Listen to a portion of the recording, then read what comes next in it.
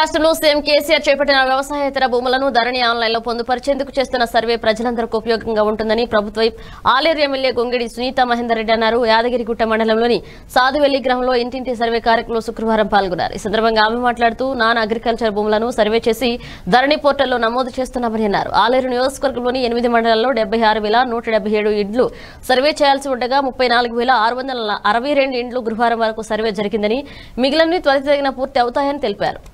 నూట ఎనభై ఆరు గ్రామ పంచాయతీలలో సర్వే జరుగుతుంది.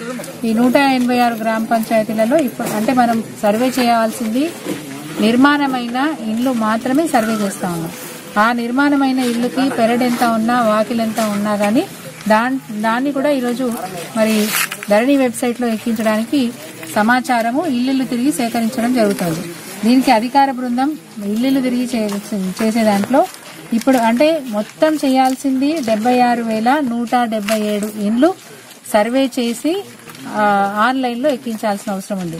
నిన్నటి వరకు అంటే నిన్న సాయంత్రం వరకు జరిగిన సర్వేలో ముప్పై నాలుగు వేల ఆరు వందల అరవై రెండు ఇండ్లు నమోదు చేయబడినాయి. ఇంకా మిగతా ఇండ్లు బ్యాలెన్స్ యాభై మూడు వేల వరకు బ్యాలెన్స్ ఇండ్లు ఉన్నాయి. ఇవి కూడా తొందరలోనే చేయడానికి అధికారులు మరి ఇంటింటి సర్వే నిర్వహిస్తూ ఉన్నారు. ఈరోజు సర్వేలో ప్రజాపతులు మరి భాగస్వాములై తిరుగుతూ ఉన్నారు. నేను కూడా ఈరోజు యారుగుట మండలంలో సాదివేలిలో ఈ ఇంటింటి సర్వేలో పాల్గొనడం జరిగింది. ప్రజలు కూడా చాలా హ్యాపీగా ఉన్నారు. కొన్ని అనుమానాలు ఉన్నా కానీ అనుమానాలను తీరుస్తూ సర్వే నిర్వహించబడతా ఉంది.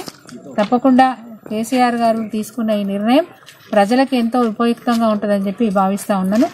డాక్యుమెంట్ లేని వాళ్ళకి ఈరోజు పర్మనెంట్గా డాక్యుమెంట్ ఇవ్వబోతా ఉన్నారు. అంటే పట్టా ఇవ్వబోతా ఉన్నారు కాబట్టి ఒక ధైర్యం ఉంది. వెనకటికి తాతలు తండ్రులు కట్టిన ఇళ్ళలో ఆ ఇండ్లను అమ్ముకుందామంటే అవకాశం లేదు. ఇప్పుడు పట్టా ఇవ్వడం వల్ల వాళ్ళు అమ్ముకోవాలన్నా కొత్త ఇల్లు కట్టుకోవాలన్నా అథెంటిక్గా పట్టా ఉంటది కాబట్టి ఈరోజు ప్రజలకి ధైర్యం వచ్చింది. అందరూ పిలిపించుకొని కూడా నమోదు చేసుకుంటా ఉన్నారు. అంత